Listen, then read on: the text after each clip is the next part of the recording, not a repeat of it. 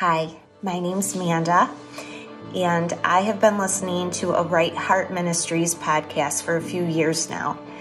As a person in recovery and maintaining sobriety, it's important for me to stay in my step 11 on a daily basis, practicing all 12. But for me, step 11 is seeking to know Christ more intimately, praying and meditating through prayer and meditation, praying only for the knowledge of His will and the power to carry that out.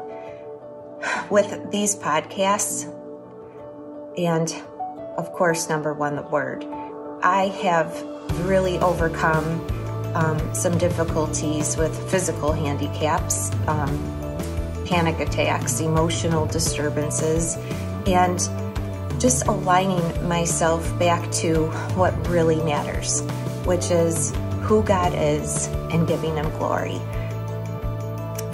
Congratulations on hundred, a hundred podcasts. It has truly blessed all that listen, I'm sure. For me, especially. Thank you so much.